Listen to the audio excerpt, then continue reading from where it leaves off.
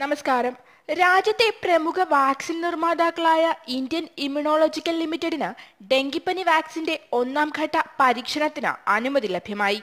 U S ആസ്ഥാനമായുള്ള national institute of ഹെൽത്തിന്റെ സഹകരണത്തോടെയാണ് വാക്സിൻ വികസിപ്പിക്കുക. National centre for vector borne disease control പ്രകാരം കഴിഞ്ഞ വർഷം രാജ്യത്തുടനീളം ഒരു ലക്ഷത്തി തൊണ്ണൂറ്റി മൂവായിരത്തി ഇരുന്നൂറ്റി നാൽപ്പത്തിയഞ്ച് ഡെങ്കിപ്പനി കേസുകളും മുന്നൂറ്റി നാൽപ്പത്തിനാല് മരണങ്ങളുമാണ് റിപ്പോർട്ട് ചെയ്യപ്പെട്ടത്. ഈ വർഷം മുപ്പതിനായിരത്തിലധികം ആളുകൾക്ക് ഇതിനകം തന്നെ ഡെങ്കിപ്പനി രോഗം ബാധിച്ചു കഴിഞ്ഞു. മഴക്കാലത്ത് രോഗം കുത്തനെ ഉയരുകയാണ്.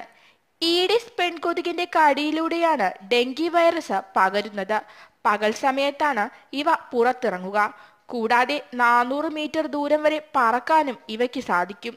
താപനില പതിനാറ് ഡിഗ്രിയിൽ താഴെയായാൽ ഡെങ്കിപ്പനി കൊതുകുകൾ പെരുകില്ല. രണ്ട് വർഷത്തിനുള്ളിൽ പുറത്തിറങ്ങുമെന്ന് പ്രതീക്ഷിക്കുന്ന വാക്സിൻ ഡെങ്കിപ്പനി മൂലമുള്ള രോഗമരണ നിരക്കുകളെ വൻതോതിൽ കുറയ്ക്കുമെന്നാണ് ആരോഗ്യ വിദഗ്ധർ സൂചിപ്പിക്കുന്നത്.